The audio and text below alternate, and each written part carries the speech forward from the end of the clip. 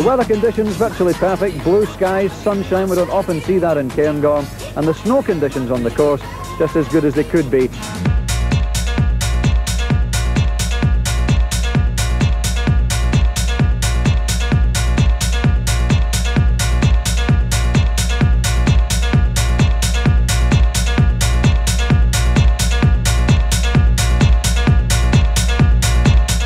How was your run?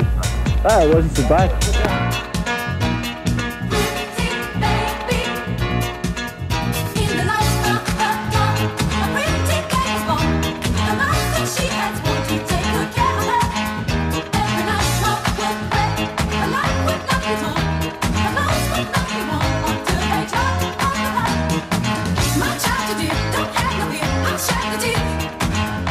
And let's have a look at some of those action-packed highlights.